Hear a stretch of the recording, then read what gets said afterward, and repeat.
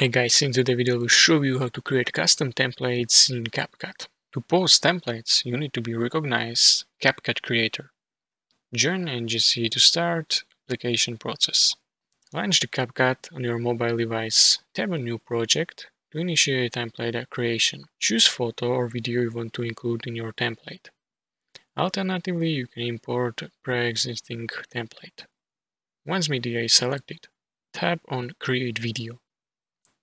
Remove the CapCut watermark from end of your video. Edit your template to perfection. Tap arrow icon to export your customized template. After exporting, you will see option to upload on CapCut.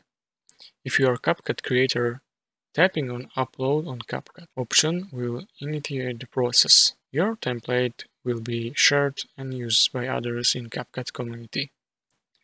And that's it. If you found this tutorial helpful, Consider subscribing and liking video.